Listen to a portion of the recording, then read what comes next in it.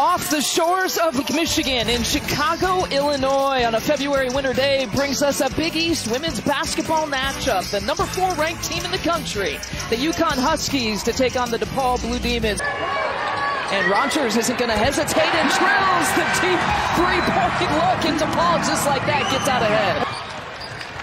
So two empty possessions to begin with here for UConn. There usually is the green light here for DePaul, and out to a 5-0 start as River on her senior day gets the bucket. And when you go by the numbers, I mean, UHAS is shooting about 28% from three. Oh, Rogers, a couple of deep ones to get things going here in Chicago. Sometimes catch you flat-footed, and that's when she just pulls. Edwards defending Morrow that time, and Rimmer with another bucket at the beginning of every UConn game because it is part of their storyline. Well, not to mention the other individuals who've missed time. And the turnaround there from Morrow. Here comes Peoples. Pump fake there for Holmes. Kendall Holmes gives it right back to Peoples for three, and she knocks it down from the wing.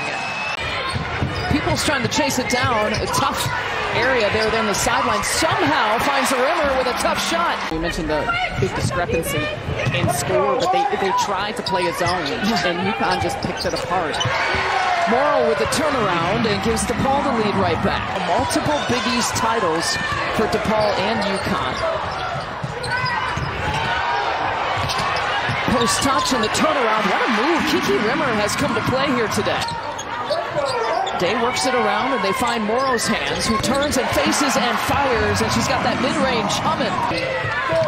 A solid 10 points in the first quarter after twisting that right ankle. It's the same ankle which she had actually injured last week. Peoples drills the deep shot.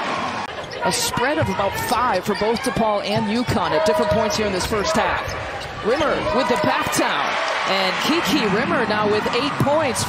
Yeah, the toughest few seconds might be this opening 30 seconds where she checks back in. And another three-pointer falls for DePaul. It's Kendall Holmes. Yesterday, a left ankle injury.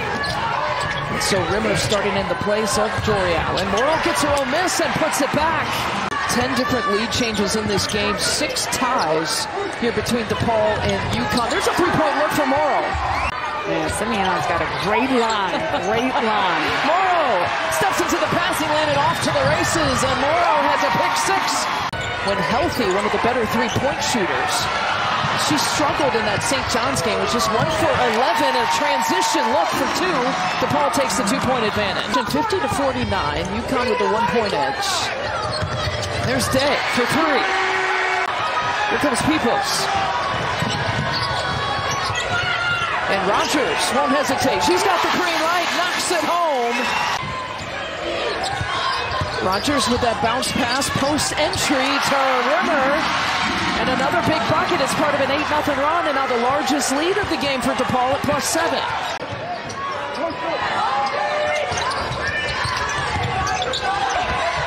Almost turned away, but spins and fires off the one foot. Wow, that's big. Inside four minutes left to play.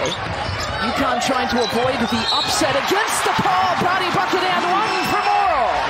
Shot clock still in play. Again, a four-second differential. A quick two goes high glass, and Peoples has cut it to one. What a game and what a finish. Competitive between both of these teams, and UConn does just enough to pull this one out.